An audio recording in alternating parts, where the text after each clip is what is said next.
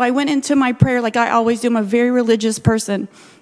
I pray continually throughout my day because it's a relationship. It's not a religion. I want to remove that word. And I prayed and I said, God, what do I do? I'm so confused. And he, after two or three weeks, he said, no, you're not to take it. And I, and I was fearful of that answer. I said, well, what if, what if it's my job? I'm hearing these things. And all I can tell you is I had this peace that doesn't come from man and it definitely did not come from me. I got you. I'm going to take care of you.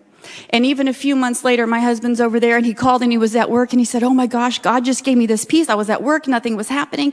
And he says, We're not to take that vaccine, that he's got us.